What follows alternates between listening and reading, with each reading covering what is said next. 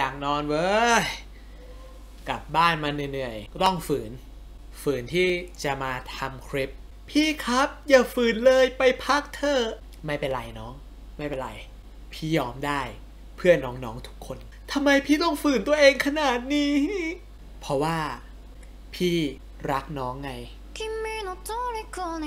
มินิฮาร์ดกว้าง น่ารัก โอ้ตื่นตัน ตื่นตันใจ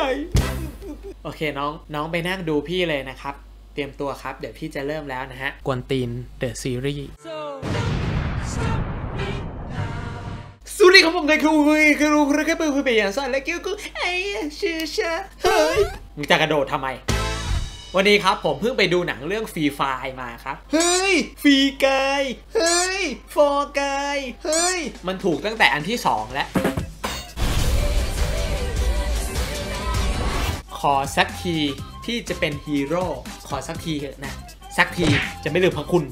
หลายคนก็น่าจะเห็นตัวอย่างของฟรีกายนะครับนำแสดงโดยไรอันเรโนผู้ที่เล่นเป็นเด p พูนั่นแหละ เดี๋ยวเดี๋ยวเดี๋ยวนี่มันกินแลนเทิร์นถ้าเกิดใครยังไม่รู้นะครับว่าเรื่องนี้เกี่ยวกับอะไรเดี๋ยวผมจะเล่าเรื่องย่อให้ทุกคนฟังนะครับ คนละย่อ ฟรีกายเป็นเรื่องเกี่ยวกับ NPC ที่ใช้ชีวิตอยู่ในโลกของเกม จนวันหนึ่งมารู้ว่าตัวเองเป็นแค่ NPC ในเกม Guy, this world, it's a video game. และเรื่องราวความสนุกมันก็อยู่ตรงนี้แหละครับ การใช้ชีวิตประจำวันที่เหมือนเดิมทุกวัน จนวันหนึ่งเขาได้แหกขนบนั้น แล้วก็ทำสิ่งที่ไม่เหมือนเดิมครับ ก็เหมือนกับคนเราครับที่ใช้ชีวิตอยู่ในเกาะตลอด จนวันหนึ่งไม่ไหวแล้วเบื่อบอกเลยนะครับ เรื่องฟรีกายเนี่ยผมเข้าไปดูด้วยความที่ไม่คาดหวังนะครับ ถ้าเกิดใครเคยดูคลิปก่อนหน้านี้ที่ผมบอกว่าผมเนี่ยอยากดูเรื่องอะไรถ้าโรงหนังเปิด มันไม่มีชื่อของฟรีกายอยู่ในนั้นครับผม แต่ถามว่าอยากดูไหมอยากแต่มันไม่ได้แบบอยากดูมากขนาดนั้น จนมาถึงวันนี้ครับ วันที่ผมต้องไปทำฟันที่สยามพอดี ทำเสร็จมันก็ว่าง ก็เลยไปดู Free Guy ครับ และมันทำให้ผมเจอหนังอีกเรื่องหนึ่งที่สนุก enjoy ไม่แพ้เรื่องอื่น ๆ เลย มันเป็นหนังที่ดูง่ายมากนะทุกคน และก็เหมาะกับทุกเพศทุกวัย ใครที่แบบว่าง ๆ อยากหาอะไรเบาสมองเข้าไปเลยเข้าไปดู เรื่องนี้เนี่ยมีมุกจิกกัดวงการเกมมากเลยครับผมเขา research มาดีมาก แล้วเขายัดมันลงไป อยู่ในเรื่องนี้ครับถ้าเกิดใครไปดูแล้วเป็นคนเล่นเกม จะ get คือบางมุกมันไม่ตรง มันไม่ต้องเล่นด้วยบทพูดเว้ยเฮียมันท่าทางอะแล้วมันทามันจี้ ถ้าเกิดทุกคนไม่รู้ว่ามันประมาณไหน ให้ทุกคนนึกถึง GTA Roleplay ครับผมไม่มีครับผมเพิ่งเข้าประเทศมา ผมเพิ่งเข้าประเทศมา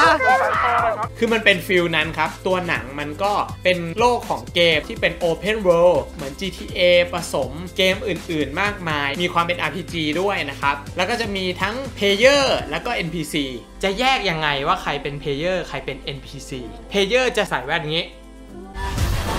ใส่ปุ๊บ มันจะเห็น interface ในเกม มีของมี item มี quest ขึ้นข้างๆ อะไรอย่างนั้นเลย ตัวเอกเว้ย พี่ Guy เรา ตอนนั้นเจ็บอยู่เลือดเหลือน้อย เห็น item heal แล้วก็ไปเก็บฮิลต้องมีซาวต้องมีซาว หลายเกมอะมันก็จะมีกิมมิคเรื่องการเก็บยา heal ถูกไหมพอเราเก็บ heal ปุ๊บมันก็จะต้องมีออร่าแบบฟิงเหมือนเครื่องหมายบวกตัวสีเขียวอะไร feel นั้นอะทำให้เราได้รู้แล้วว่าเขา heal เรียบร้อย เจ๋งปะเรื่องนี้ตั้งคำถามให้ผม อยากจะถามตัวเอง แล้วก็ถามทุกคนเลย ถ้าเกิดวันหนึ่งทุกคนรู้ว่าตัวเองเป็น NPC ในเกมเกมหนึ่งทุกคนจะทำยังไงครับ อันนี้เป็นคำถามเชิง Science Fiction เลยนะ ตั้งคำถามว่าถ้าเกิดชีวิตที่เราใช้อยู่ทุกวันเนี้ยมันไม่ใช่เรื่องจริง เราจะรู้สึกไง ตั้งแต่เกิดจนมาถึงทุกวันเนี้ยแม่งไม่มีอะไรจริงเลยเว้ย แม่งคือโลกเสมือนอะคงเศร้าหน้าดูเลยนะ ผ่านเรื่องราวเศร้าๆดราม่าชีวิตอะผ่านไปแล้ว ทุกคนจะทำยังไง ถ้าเกิดเป็นผมด้วย ผมก็จะกดสูตร motherlode เสกเงินมา โอ้โห money money money เสกเงินมา แล้วผมก็จะไปห้างแล้วก็ shop แม่งทุกอย่างที่ผมอยากได้ อยากได้อะไรผมจะซื้อให้หมด เพราะกูกดสูตรโกงเงินแล้ว this this this this this this that กูนึกว่าไมเคิลแจ็คสันแล้วผมก็จะวิ่งออกไปสารภาพรักกับคนที่ชอบ เพื่อให้มันเกิดซีน แล้วก็จะทำทุกอย่างที่อยากทำครับ เป็นตะโกนตูตูเฮ้ยพอพอแม่ยังเย้ออกไปได้แล้วสัตว์เจ็ดปีว้าวใหญ่เหมือนกันนะเนี่ย เดินตะโกนแม่งรอบเมืองเลย คือไม่แคร์โทรชีวิตไป ก็คงจะหาคนก็จะมองเฮ้ยอะไรวะ แต่ก่อนอาจจะเคยสนอาจจะเคยอาย แต่พอรู้ว่า เอ้ย กูได้รู้ความลับของโลกนี้แล้วว่ะ กูไม่สนแล้วเฮียจัดไปทำแม่งทุกอย่างในการตะโกน เอ้ยพวกเราเดินเล่นวิ่งเล่นเกียนอย่างเงี้ย มันก็ไม่ได้ทำร้ายใครถูกไหมแต่ถ้าเกิดเราไปทำสิ่งไม่ดีที่มันทำร้ายใคร แล้วก็ทำให้คนอื่นเดือดร้อนเนี่ย ผมว่ายังไงก็ไม่ดี สร้างความสุขดีกว่า สร้างความสุขให้ตัวเอง คนรอบข้างเพื่อนๆผมว่าโอเค I'm not gonna be the good guy. I'm gonna be the great guy.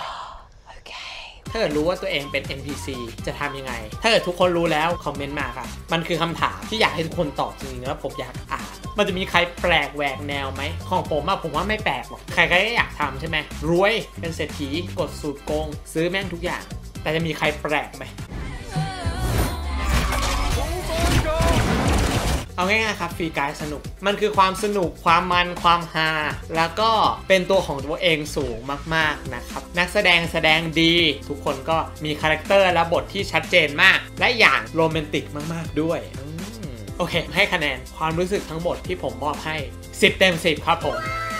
คือผมรู้สึกสนุกและ enjoy กับมันมากนะ ไม่มีอะไรติดขัดเลย แล้วก็เป็นหนังที่ดูง่าย พาครอบครัวไปดูได้เลย ไม่ได้คาดหวังอะไรแต่เข้าไปแล้วโอ้โหมันสนุกจริงๆ แล้วก็ให้รอยยิ้มกับเรา ไม่ใช่มันไม่มีข้อเสียอะไรเว้ยแต่เพียงแต่ว่ามันสนุกจนเรามองไม่เห็นข้อเสียอะไรเลย เพราะว่าเป็นหนังดูง่ายด้วยมันไม่ได้แบบมีพล็อตมีปมอะไรแบบเยอะแยะที่แบบควรจะติเนาะโอเคเก็ตนะ มีอะไรอยากถามไหมเอ้ออะไรนะไอ้สัสด่าเหรอด่าเหรอ ด่าผมเหรอ โอเค ไปเถอะ ใครชอบคลิปนี้ อย่าลืมกดไลค์กดแชร์ ไปนะเอโอเค ไปละคิดถึงเหรอ คิดถึงเอาไม่เป็นไร ขอพักบ้างเถอะ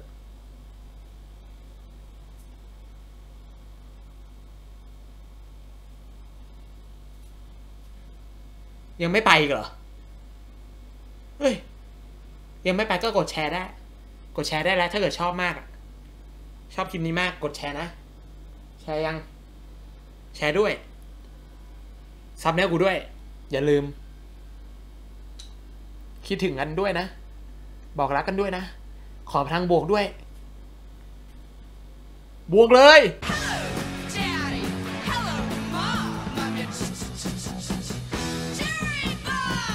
ก็เอาเป็นว่ารักษาสุขภาพนะครับ ไปดูออกไปข้างนอกก็ระวังตัวล้างมือบ่อยๆ เนาะพยายามอย่าเอามือมาจับหน้าถ้าเกิดไม่จำเป็นนะครับผม I'm the bullshit guy come on baby come on baby มาเลยสุดการแน่งโง่